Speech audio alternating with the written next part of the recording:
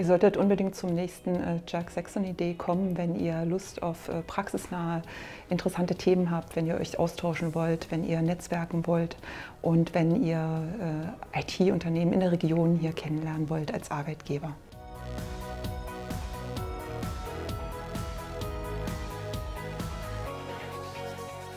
Als Entwickler muss man einfach ständig am Ball bleiben und Wissensaustausch und Vernetzung sind meiner Meinung nach essentiell dafür. Und was wir hier haben, ist die regionale Community und genau die Leute, die genau das mitbringen, nämlich den Wissensaustausch und die Vernetzung und die Erfahrung aus den Projekten.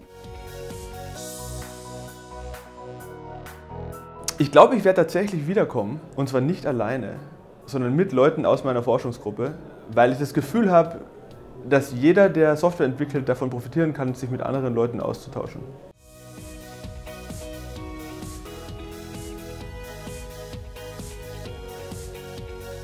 Wenn man Vorträge von namhaften Speakern hören möchte, äh, ohne dabei nach Mainz, Köln oder München fahren zu müssen äh, und so dann Wissen zu mehren und auf der anderen Seite, um in Kontakt zu treten mit äh, Firmen hier aus Sachsen und gucken, wie setzen die Java ein und was für tolle Produkte bauen die mit Java. Und das Schöne ist, dass das Ticket hier eben nicht 1000 Euro kostet, sondern man sich das auch privat ganz gut leisten kann.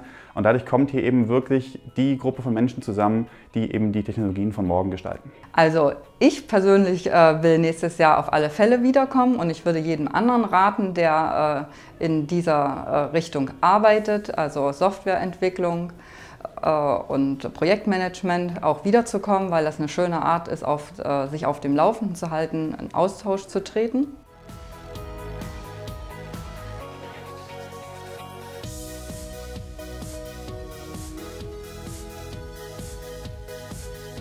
Ich finde, Jörg Saxony ist eine ganz wichtige Community hier äh, auch in der Region äh, für den Wissensaustausch, ähm, als Plattform äh, Neues zu lernen, neue Themen anzubieten und den Wissenschafts- und Wirtschaftsstandort Sachsen zu stärken. Die Saxony ist super, um in der Region Kontakte zu treffen, Netzwerke zu schließen und sein Wissen auszutauschen und sich über neue Technologien zu informieren. Also wirklich beachtlich, was die JUG leistet mit den JUG Saxony Day hier in Dresden, JUG Saxony Camp in Leipzig und den ganzen Meetups.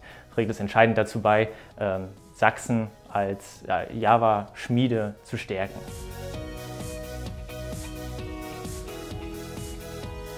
Also ich werde auf jeden Fall im nächsten Jahr wieder hier sein.